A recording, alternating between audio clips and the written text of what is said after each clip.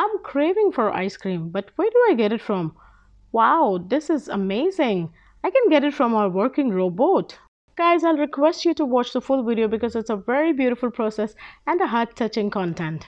I have never ever in my life tried an ice cream prepared and served by a robot. So this is a very special moment for me because I'm going to get an ice cream from a machine. As you can see my ice cream is being prepared and I'm really excited because this is the first time a robot is going to serve me food. So let me tell you the process. You have to go to the counter, order whatever is your favorite ice cream. There are three options, caramel, hazelnut and strawberry to select from.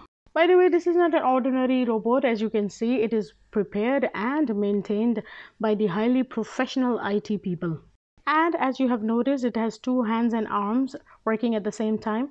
So one side, which is on your left, it's for the ice cream lovers. The other one is for coffee lovers.